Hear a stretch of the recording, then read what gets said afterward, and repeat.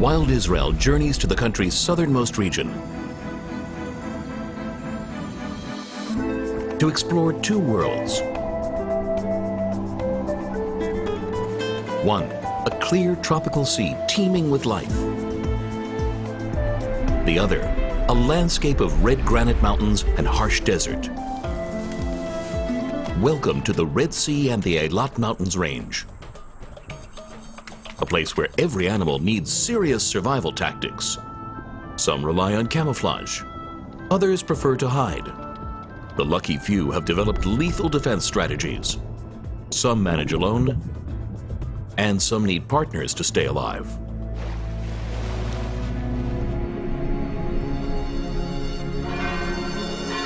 In Israel, history is everywhere.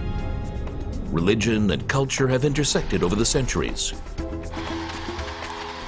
Country is less known for its fascinating wildlife and terrain.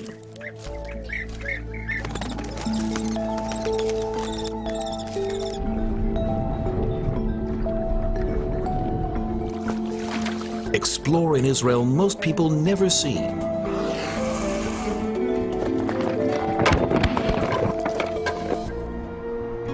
From snowy peaks to the world's lowest sea. From Mediterranean beaches to lush waterfalls and ancient desert landscapes. And from green mountains to colorful coral reefs surrounded by desert mountain ranges.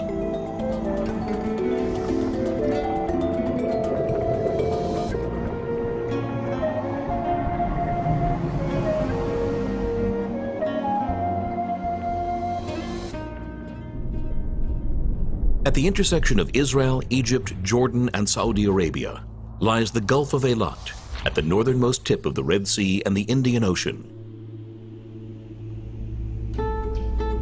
15 miles wide and 5,900 feet deep.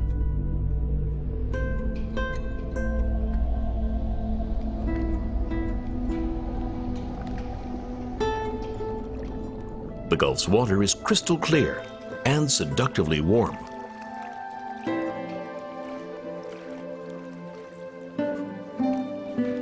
Water temperatures hover at 75 degrees Fahrenheit, even though the temperature rises above 113 degrees Fahrenheit on dry land. The clarity, depth, and steady temperature have brought to life the northernmost coral reef on the planet.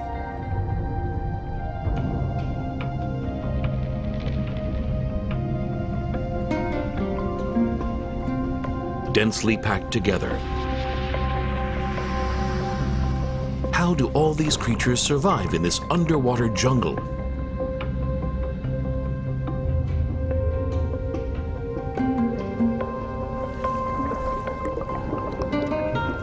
Welcome to a world where cooperation is the key to staying alive.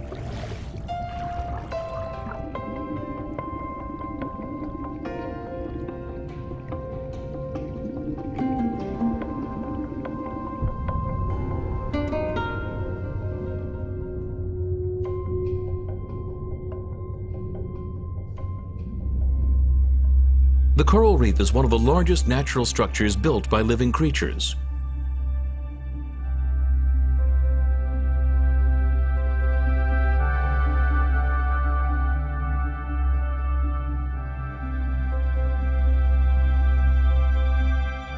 It comprises thousands of tiny building units called polyps.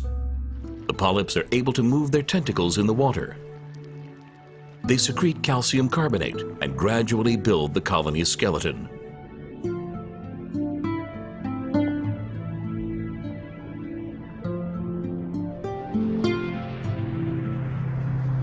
The corals require assistance to build their hard limestone skeleton. That assistance comes from their partnership with microscopic unicellular algae. These algae live in the inner cell layer of the coral. Using photosynthesis, they generate and provide the coral with oxygen and most of its energy requirements. They also speed up the processes of building the coral skeleton. Both partners benefit from this relationship. The algae can thrive in a comfortable, protected habitat. The coral gets the oxygen and sugars it needs to build its skeleton. The cooperation is so critical that when the algae are expelled, for example, when temperatures fluctuate too much, the coral loses its colors and source of energy and eventually can die. This phenomenon is known as coral bleaching. Corals also draw energy by feeding on tiny plankton suspended in the water. At the same time, corals are themselves food for fish, such as parrotfish and Picasso triggerfish. Corals grow in a range of shapes and forms. Massive corals that create huge balls where thousands of polyps close and open up at the appropriate time.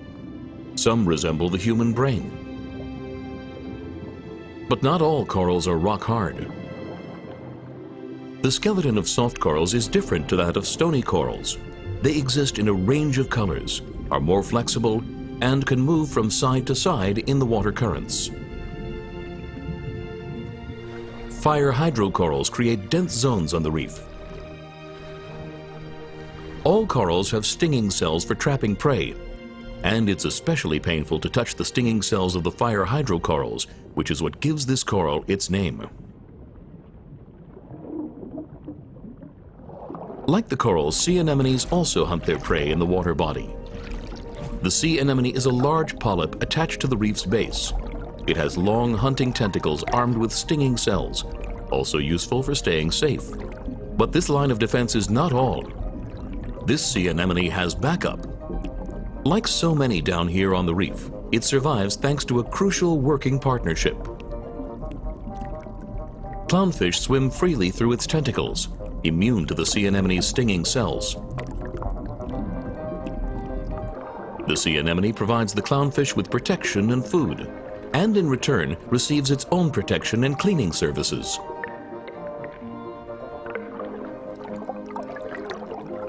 The fish's movement through its tentacles ensures a steady flow of oxygen-rich water. The sea anemone also enjoys the clownfish's secretion of ammonia that serves as a vital source of nitrogen. Two to six clownfish live with each sea anemone, organized in a clear hierarchy. A female heads the small group. She reproduces with the dominant male. If the female is eaten, her partner does something incredible. He becomes a female and takes her place. The next male in the hierarchy becomes her mate. The others will continue to wait their turn. During the breeding season, the female lays a mound of eggs near the sea anemone and the male fertilizes them.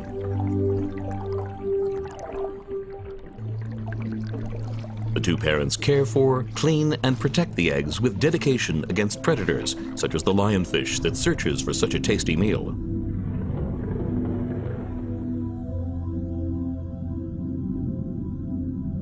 The sea anemone refuge is perfect for the clownfish, and other fish find their home elsewhere. The cardinal fish hides among the spines of the sea urchin, well protected. But in the Gulf, no refuge is completely safe.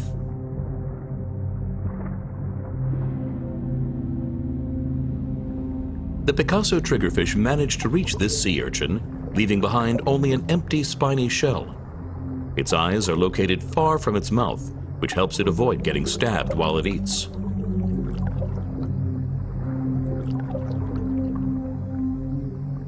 The spectacular Rasa also ate from the sea urchin and still carries an unwanted souvenir, this spine stuck in its face.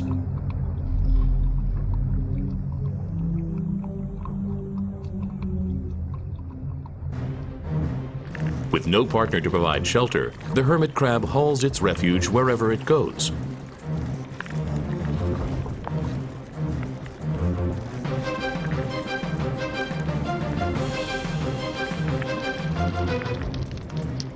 It needs to find abandoned shells like this one, and will abandon it when it becomes too small to live in anymore.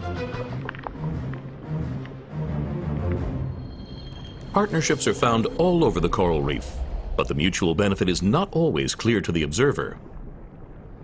Looking at the coral, Acropora, and the green reef chromis, the benefit to the fish is clear. They swim close to the coral, and when they need to, escape between its tough branches.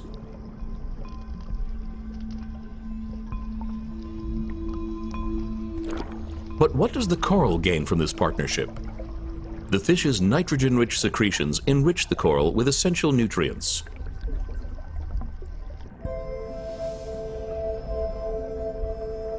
And with their waving fins, the chromis fish also ensure a flow of fresh, oxygen-rich water.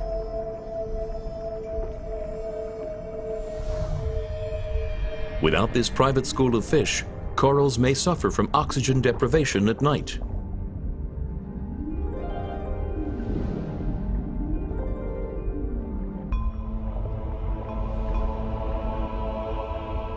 And there are some corals that are not satisfied by symbiosis with algae and fish.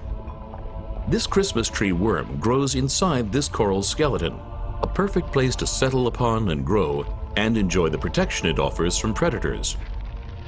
In return, the worm provides the coral with a flow of oxygen-rich water and a safe growth platform for its polyps. A pipe organ sponge is also attached to the reef space. Sponges are one of the simplest and most ancient creatures in the oceans.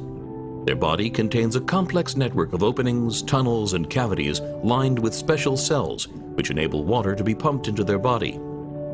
In this way, the sponges strain microscopic food particles from the water. Sponges are the reef's vacuum cleaners, cleaning its water from particles and maintaining the water's clarity.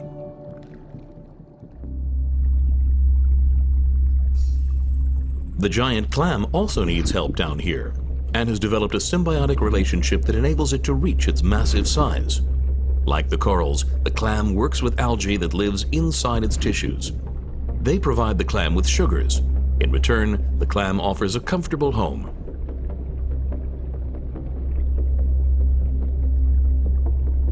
In the Gulf of Eilat, the clam reaches 66 pounds.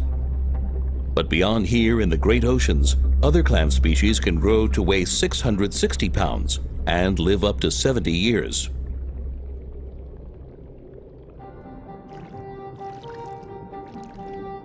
If the large animals need help, the small ones need it even more. This is the yellow spotted boxfish. It spends the first part of its life in the same coral. Facing danger, it releases a toxic protein from its skin. The toxin can be fatal for fish that threaten it or its coral. And even before it goes on the attack, its bright yellow color sends a warning to all potential predators. I am toxic. When the boxfish matures, its color changes to blue-gray.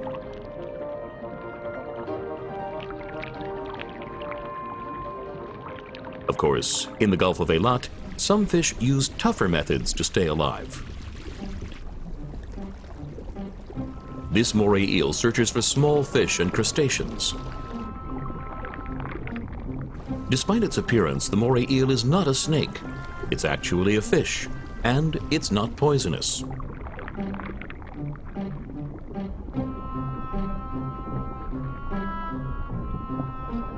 Many species of moray eel live in the Gulf of Eilat, in the seabed or in the reef's refuges.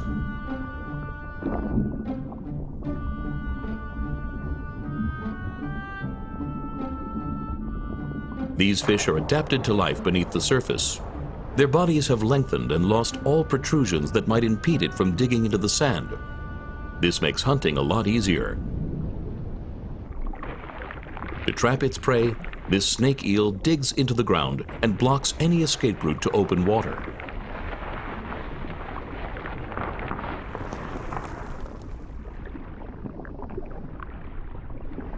The moray eel's body is covered by very thick skin. Some secrete sticky mucus that repels predators and shields them from bruising.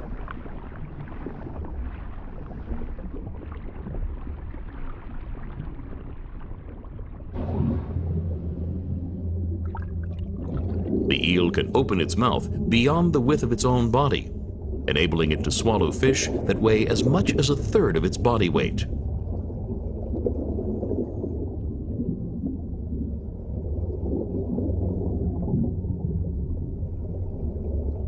The moray eel's sense of smell is so sensitive, it can detect prey dozens of feet away.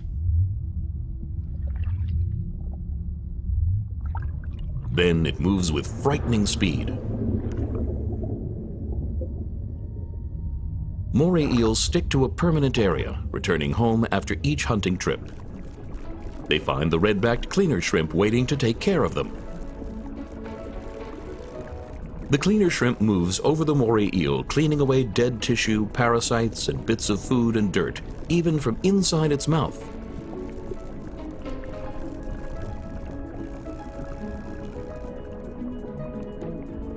It's a win-win situation for both sides.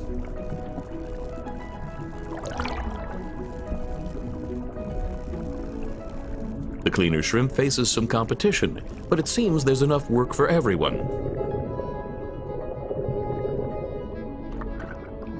Next to the reef wall, a cleaner fish marks out his cleaning station with a welcome dance. Fish passing by approach the cleaning station and receive excellent service.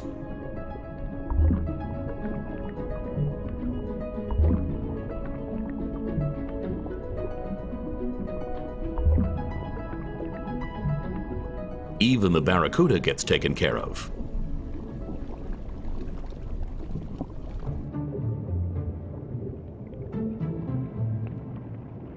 Several species of cleaner fish live in the Gulf of Eilat.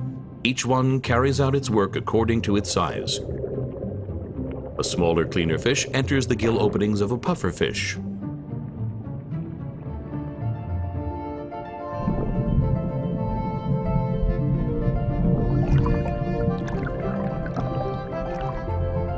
Sometimes the cleaning is annoying and the cleaner is dismissed.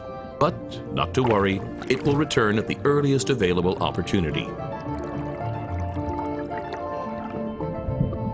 In one of the reef's alcoves, something secret is taking place. A grouper approaches a moray eel and invites it to a joint hunting expedition. It moves its head in the eel's direction. This is the familiar signal. The moray eel accepts the invitation.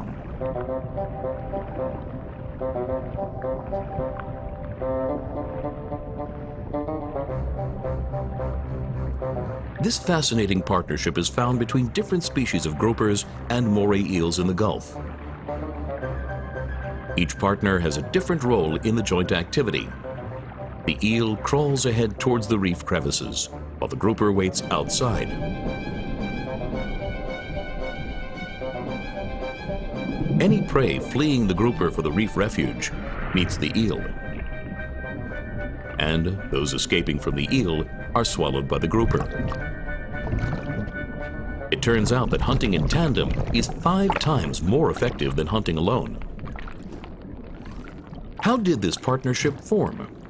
Is it related only to instincts, or does it indicate intelligence and learning by the fishes? Until it is solved by a future researcher, the answer will remain the predator's secret and the nightmare of the reef fish. Night falls on the Red Sea. It does not affect the water's temperature, but the darkness changes the balance of power. Sea creatures who were active during the day withdraw to the reef to sleep through the night.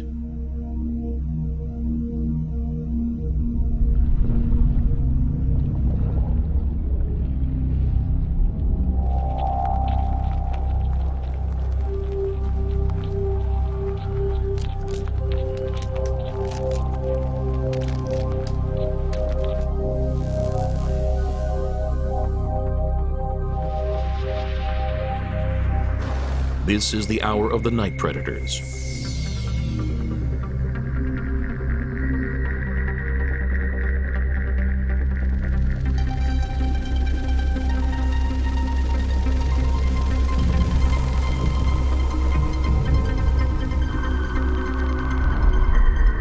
A group of lionfish set out to hunt tiny glassfish.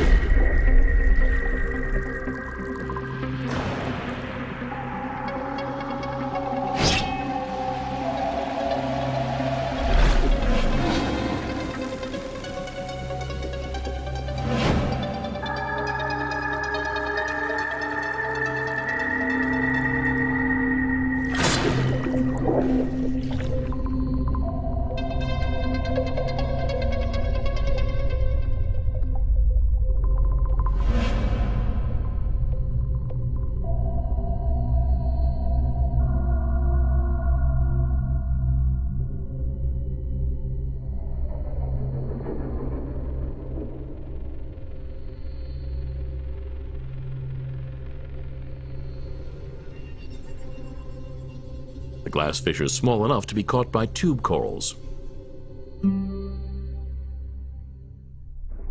The transparent comb jelly, which resembles a jellyfish, is also active now. It moves in the water using tiny rows of lashes, searching for plankton in the water. At night, most corals spread out their hunting tentacles, waiting for prey.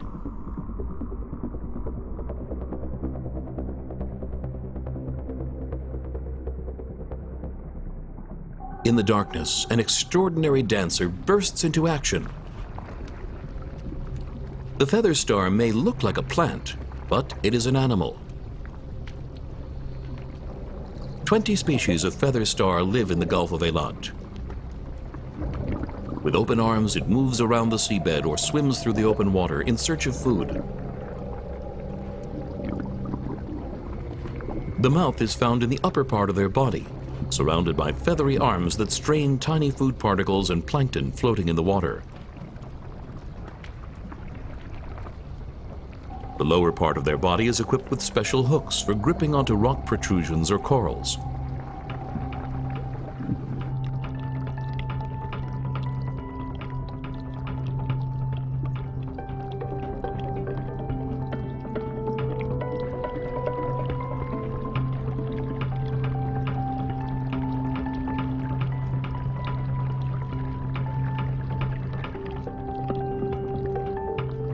Feather stars are very sensitive to light, and with perfect timing, they set out the moment darkness falls. Before sunrise, they return to the hidden reef labyrinth.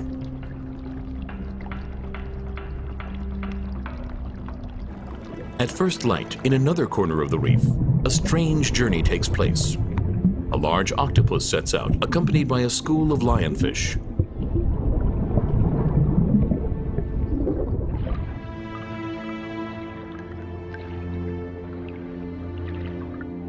These lionfish have learnt the value of joining a much bigger, powerful hunter.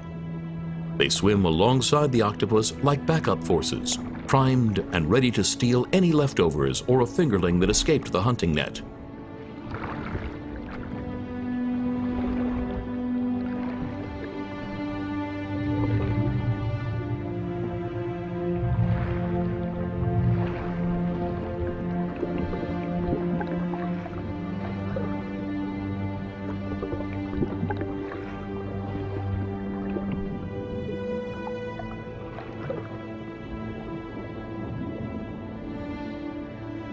Other fish gather and join the large hunters, waiting for a forgotten crumb.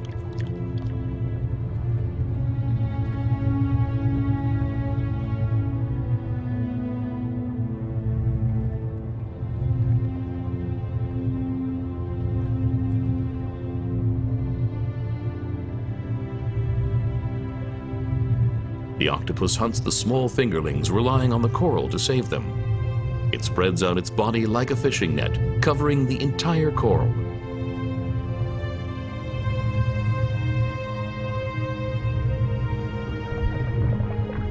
The octopus hunts all over the reef, but prefers the coral canyons and the seagrass meadows.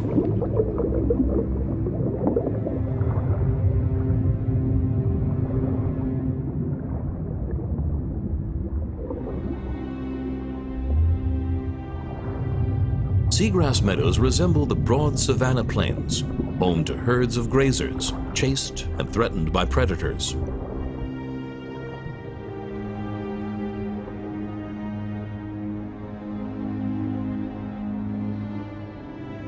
Large sea turtles swim here.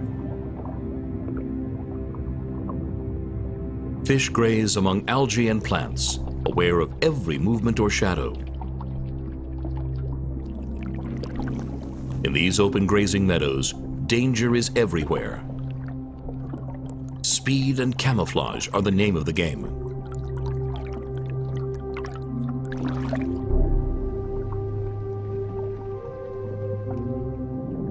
At the edge of the reef, the seagrass covers a large area that looks like a lawn.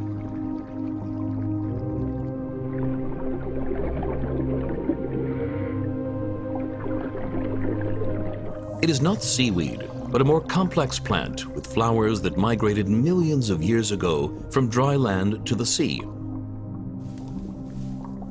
The seagrass lives in partnership with bacteria, which take gaseous nitrogen dissolved in the water and convert it into organic forms, useful for the reef's organism. These plants and their associated bacteria play a fundamentally important role in the food web. Only a few plants in the world, including seagrasses and acacia trees on land, have associated bacteria that can trap gaseous nitrogen and make it accessible to living organisms, which use it to build proteins.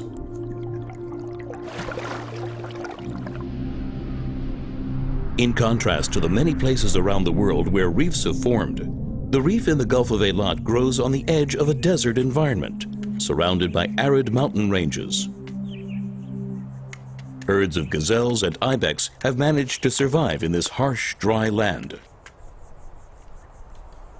These surface animals owe their survival to the acacia tree, their primary source of food.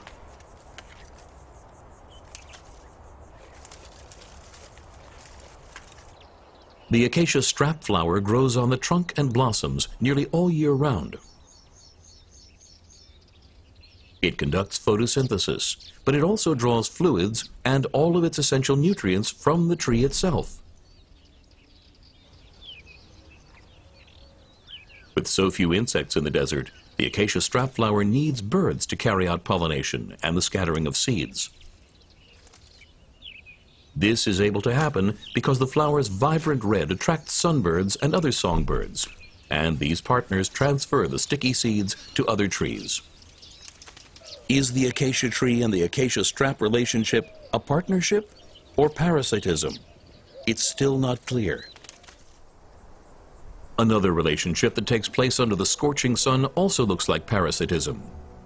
The desert broom rape rises up and flowers from the arid soil in strong patches of yellow.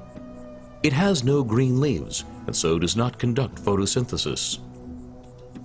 In order to survive, it has evolved to take advantage of other plants.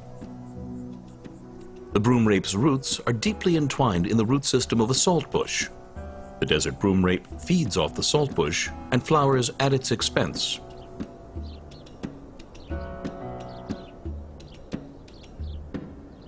Neither the saltbush nor the acacia tree appears to be gaining anything from the partnership forced upon it. The acacia tree is an entire world. At any hour during the day, desert creatures come to rest in its shade or eat from it. In the hot noon hours, something that looks like a prehistoric dinosaur comes in close. The Egyptian mastigure, the largest lizard in Israel, weighs up to 6.5 pounds and can reach 2.5 feet in length.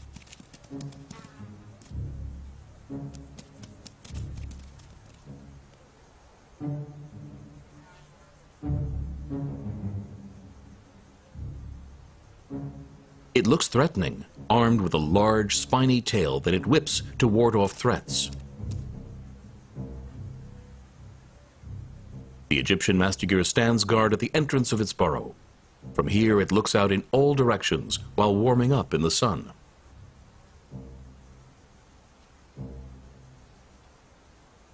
In the morning, its colors are darker. Dark colors warm up rapidly, only during the noon hours, when its body reaches a high temperature, is it ready for action. Then its color lightens to the dusty shade of the environment. The adult is completely herbivorous, eating from acacia trees and gathering flowers and seeds at the base.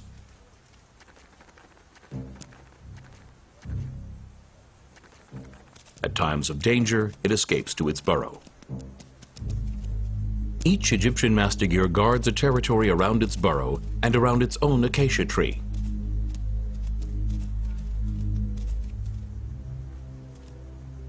At night, when the temperature drops, it returns home. This is when the nocturnal desert snakes set out. In our imagination, cobras belong to moist, green tropical forests, but an impressive member of this family lives here in the desert and the black desert cobra is one of the most dangerous snakes in the entire country. Guided by its keen sense of smell, it slithers among the rocks, searching for toads, rodents, and reptiles. And when it finds its quarry, the cobra swallows it whole.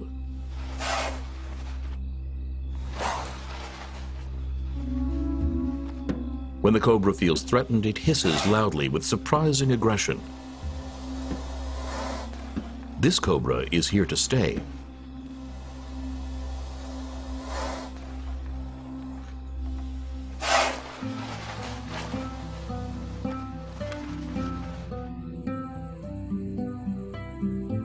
The rising sun drives the snakes away to their shady refuges and reveals the beauty of the Timna Valley. Ancient limestone cliffs rising to great heights, sculpted and weathered by wind and water. Broad arid channels and sparse scattered vegetation create a colorful and surreal landscape.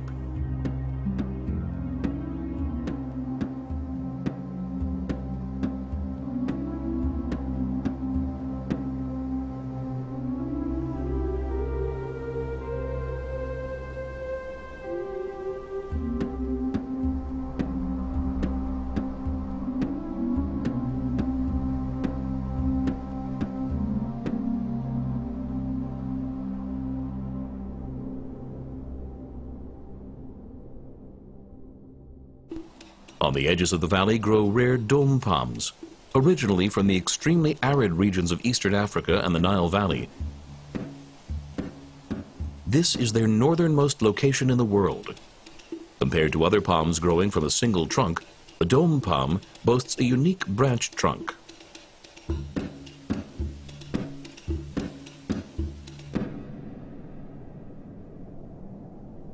When the temperature in the river valleys surrounding the Gulf exceeds 104 degrees Fahrenheit, ornate mastigures are the only creatures which wander the landscape. The ornate mastigure is smaller and more colorful than its Egyptian cousin, which lives on the open plains. The ornate mastigure lives in steep canyons and rocky areas.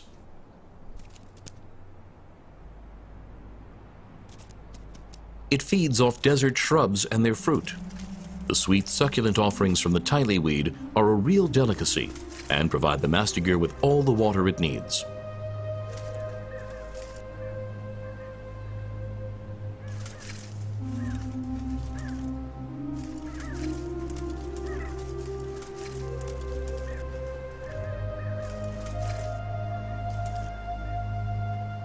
There is no mistaking the male ornate mastigure, which is yellow, blue, and green,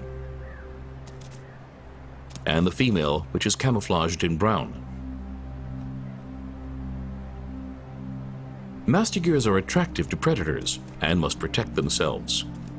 When it notices the eagle, the ornate mastigure squeezes between rocks or into a shady crevice and disappears from sight, thanks to its color and skin pattern.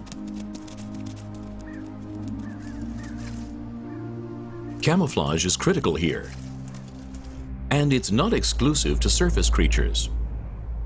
On the sandy seabed, out in the open, there are no rocky refuges to hide in. And animals rely on camouflage to survive. The sole has evolved to become completely flat. This allows it to dig in and camouflage itself in sand,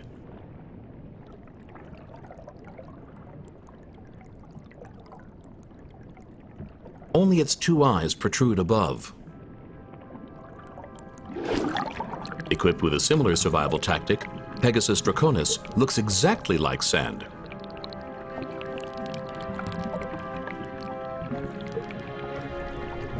Down here, hiding is not the only line of defense. Some fish can go on the attack if they need to.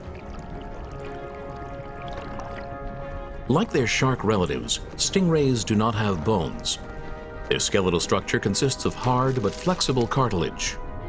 The blue-spotted ribbon-tail ray lies in the sand during the day, covered so that only its eyes are visible.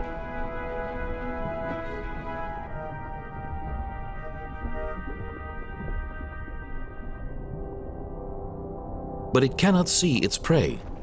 The hidden hunter locates crabs, clams, and mollusks using its excellent sense of smell and electric receptors and cracks them with its strong teeth. Its main predators are sharks, but its tail is armed with a poisonous spine. the stingray does not hesitate to thrust it into a threat.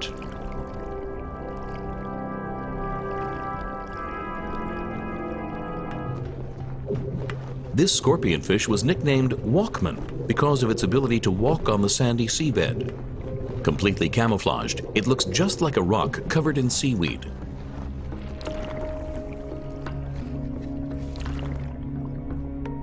Its entire body is shielded by bumps and highly toxic spines.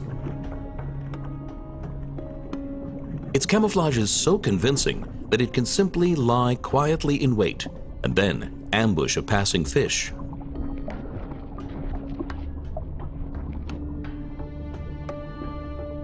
When hunting, it opens its large mouth rapidly and sucks in its surprised prey.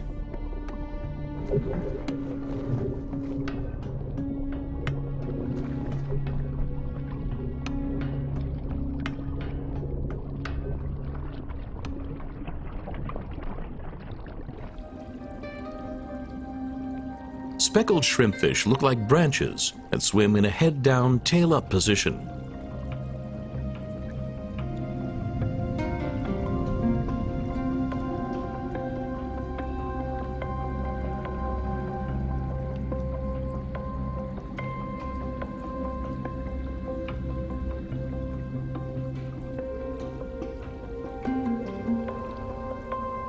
well hidden among the branches of the black coral that is their background.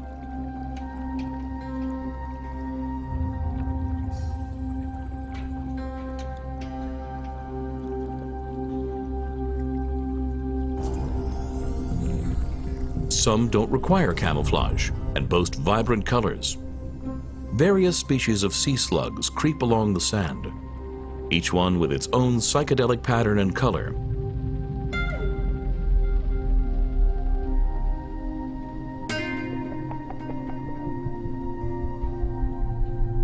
Their gills flap on their backs like a flower, enabling them to breathe the oxygen in the water.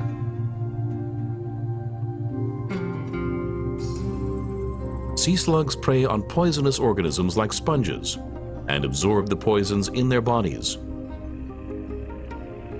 These chemical compounds make them very unappealing to potential predators and compensate for the evolutionary loss of their shell. They advertise their toxicity with an array of warning colors and crawl along the sand without a worry. Most predators do not dare to touch them.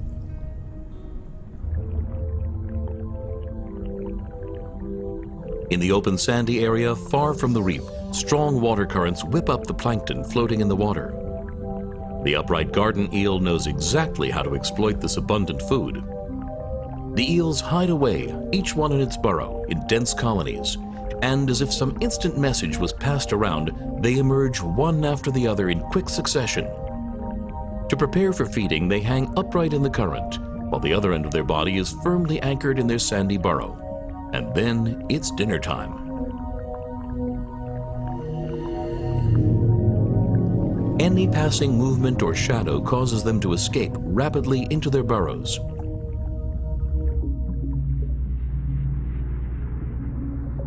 Among the sandy patches and seagrass meadows, hidden from the eye, live pipefish and their relatives, the seahorses.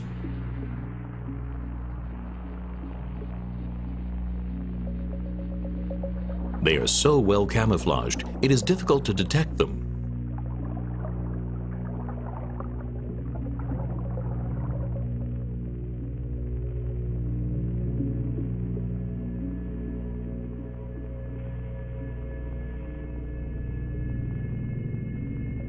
They feed on little organisms, sucking them up with their long, narrow, toothless mouths. But for all these different vanishing acts around the reef, the master of camouflage and variation remains the octopus. Lacking a skeleton, it can squeeze into incredibly narrow crevices.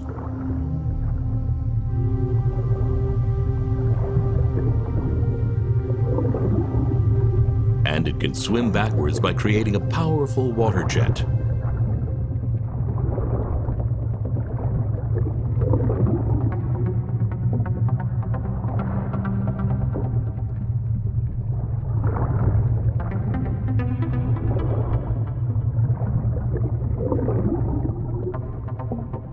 Octopus's supple body discards and assumes multiple shapes and textures, sometimes smooth and pale, other times bumpy and speckled.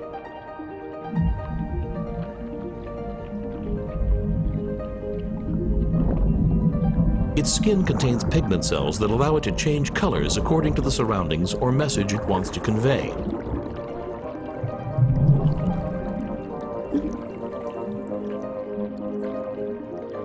When hunting, it uses its eight tentacles armed with strong suction cups to hold its prey. During the mating period, the male octopus guards his female partner aggressively, expelling other male quarters from its territory.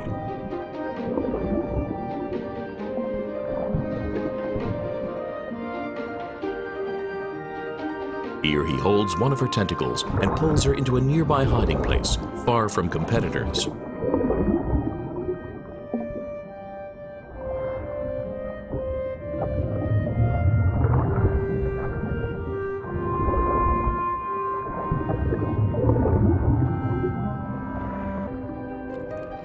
Another inhabitant of the seabed is the sea cucumber, which crawls slowly along the sand using tiny hydraulic tube feet. Special legs surrounding its mouth gather up sand. It swallows a large amount of sand through its mouth, sifts out the organic matter, and excretes the sand pellets at the other end of its body.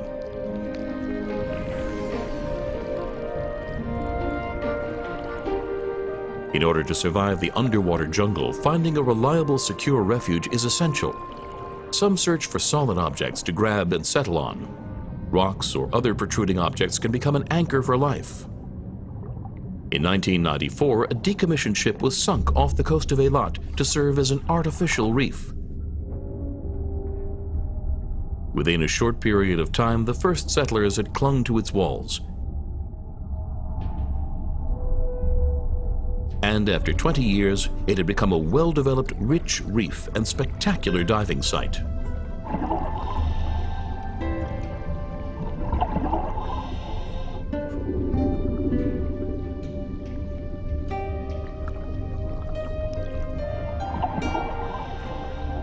Today, efforts are being made around the world to support coral reefs with the help of man-made foundations.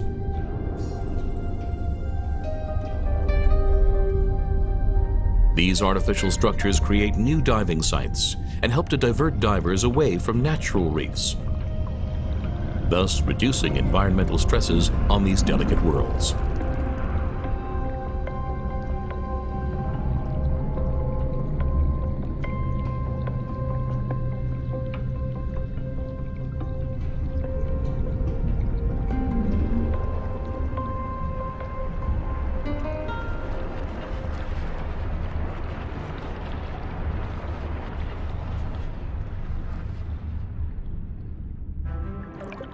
Next to the ship's wall, above a sandy area, a school of squid swim past.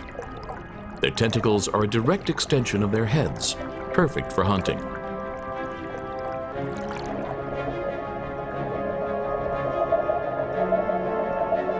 Group living gives the squid a better chance for survival, especially for creatures that are easy prey,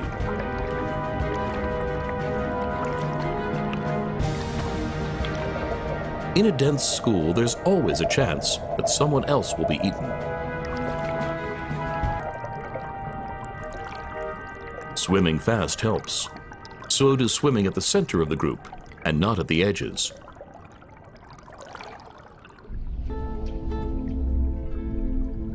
The sea goldie also lives in dense schools, staying close to the reef for safety The school comprises several groups or harems, which include a purple-colored territorial male and several bright orange-colored females.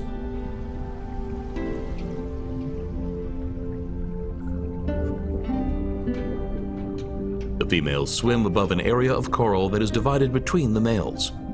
During the mating season, the male releases sperm cells into the water and the females release egg cells. Only females develop from the fertilized eggs, and they eventually join the harem. When the male dies, a large dominant female changes her sex to male and takes his place.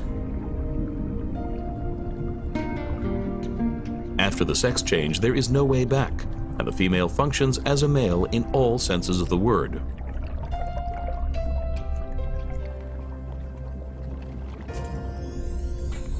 Many other species have developed the strategy of living in schools,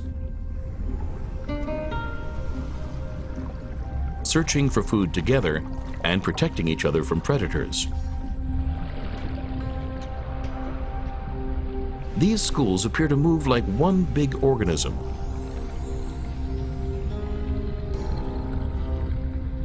Especially when they escape threats with a single unified movement.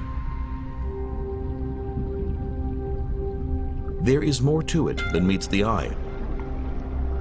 Delving deeper into these social and survival patterns reveals a complex mosaic full of surprising relationships, dependencies, and partnerships between different species and between individuals of the same species.